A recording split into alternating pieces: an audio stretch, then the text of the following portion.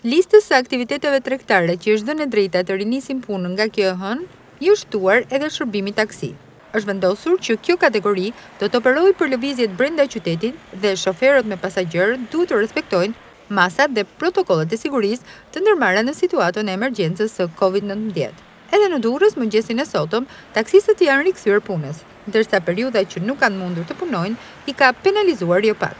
Dëm ekonomik ka shkaktuar gjithsesi, se ke parasysh ku ke familjen, ushqen me të ardhurat këto janë, e kupton? Po ishalla marrim këto që na ka thënë kryeministri dhe të paktën rregullohemi disi. Ndërkaq, masat për të parandaluar përhapjen e infeksionit do të shoqërojnë si drejtuesit e taksive edhe qytetarët që do të jenë si pasagjerë. Njëri nga kushtet është që pasagjeri duhet të ulet mbrapa dhe diagonalisht me shoferin e mjetit. Lejohet vetëm një klient në automjet. Por, ky taksist tregon se kjo mënyrë e organizimit të punës i ka kushtëzuar. Është një të marrësh një pasagjer në sensin e kundërt.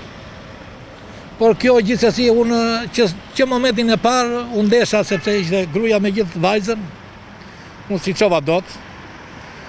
Edhe kështu që u ngeri dhe qendi, kisha dhe klient, po u thashë këtë punë nuk e bëj dot. E kupton këtu brenda brenda. Po rrim atje, po jemi me maska, jemi me dorashka, jemi kështu. Nuk e bëra dot, e kupton? Kështu që të paktën dy veta duhet, sepse nuk ka, mund të paktën dy veta duhet të jetë. Këtë e ndjejmë sepse jo është grua e burrë, jo është motër e vëlla, e kupton? Ka një fëmijë. Pra ju pengon kjo pjesë. Kjo na pengon, të paktën të jenë dy veta për momentin, e kupton? Një thuaj se rrim kot për një. Raste shumë të rralla. Megjithatë, kismet, Zoti lart.